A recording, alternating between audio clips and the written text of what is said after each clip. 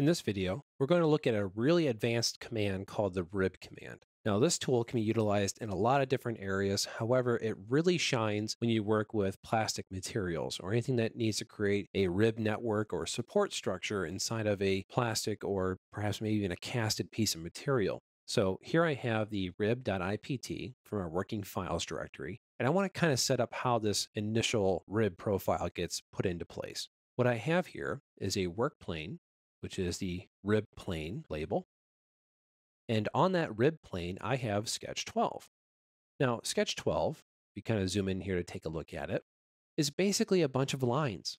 That's all it is. So I have line, line, line, line. Now I also might have points in here. So there's a point center, a point center.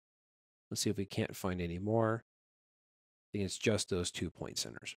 Okay. Those point centers matter because they pick up under certain conditions with the rib command. I'll go ahead and start that tool. And here I need to select my profile. I'm just going to grab these different lines here that represent my rib. Now, taking a look at what we have, we can see a very, very nice preview of this. In fact, I'm going to make the thickness a little bit bigger at two millimeters so we can see it even better. We can see that we have our existing network created here where it's spanning across the entire internal network of that rib, as well as extending beyond the extents of the line. It's doing that because of this little check mark here called Extend Profile. If I uncheck that, you can see it only terminates to the end of where your rib network is.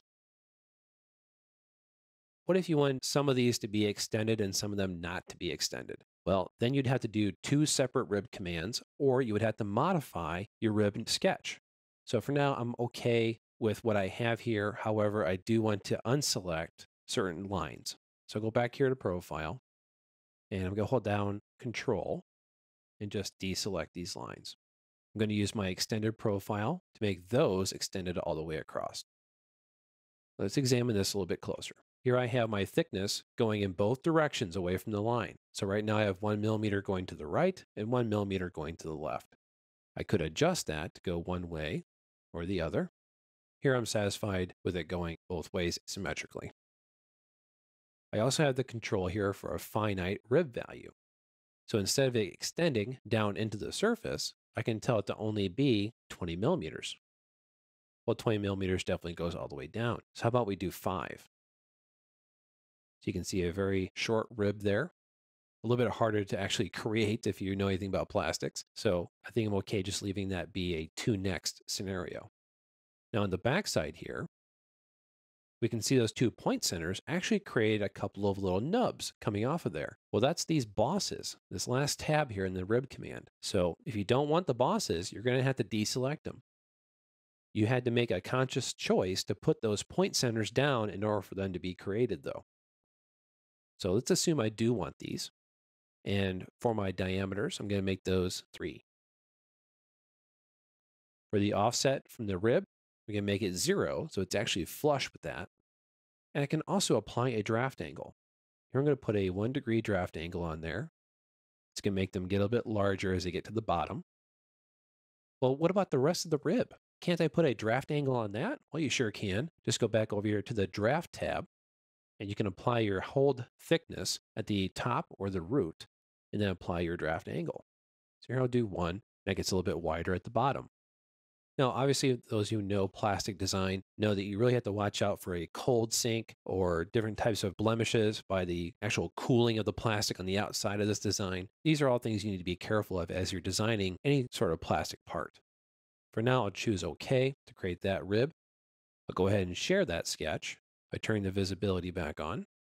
Go back to rib again and choose these to be extended profiles. Obviously, I can apply draft there as well. Well, what about this one here? Well, this one here ended up not wanting to be extended because it would end up into that handle there. So really, I need that to be part of the first rib. I'll go back to rib one and just re-add that profile. And I'll turn off the extended profile there. And you can see it actually breaks up that initial condition. So instead, I'll go back to rib 2, try to add it there. Again, same problem because I can't have a combination of extended profiles. So it looks like I'm actually going to have to create a third rib. But I can use that one network to control all of these. There we have it. Once you're done with your sketch, simply turn off the visibility and you got yourself a nice rib network.